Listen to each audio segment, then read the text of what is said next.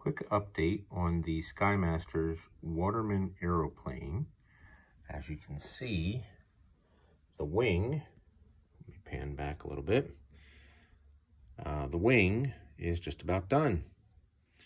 We have our aileron right there. Just need a leading edge on the aileron. Uh, but very straightforward, not too difficult at all. And that opens, whoops, sorry, in that open section right here, uh, that is where the, uh, they'll put some glass. Um, and you can see I have to build the other aileron, but the wing itself is basically done. So for the most part, so now we just have to, once we get the wing finished and covered, and then we got to go ahead and start working on the, the struts, as you can see here.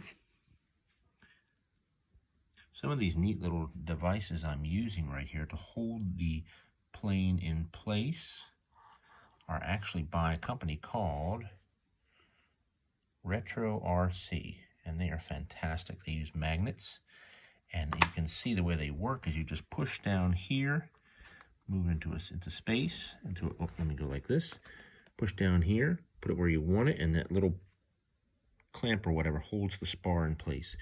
We also have these little neat little ones right here. They also use magnets.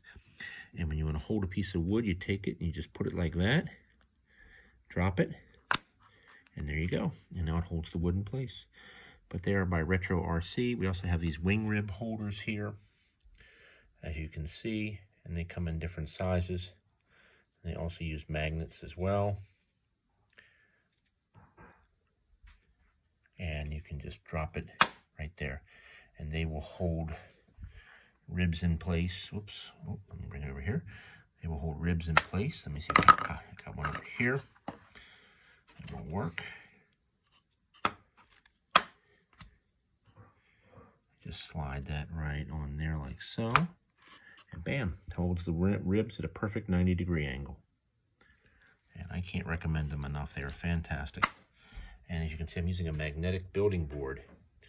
And I mean to tell you, there is no better way to build a wing or a fuselage than using magnets. And they're fantastic. They really are.